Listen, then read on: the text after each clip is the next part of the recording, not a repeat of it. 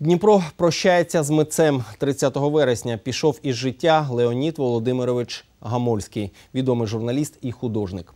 Йому було 78 років. День народження святкував у липні.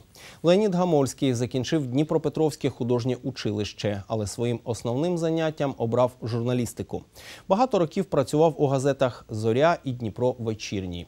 Утім, і живопис не закинув. Персональні виставки Гамольського відбувалися у різних галереях України, а картини є в багатьох приватних колекціях.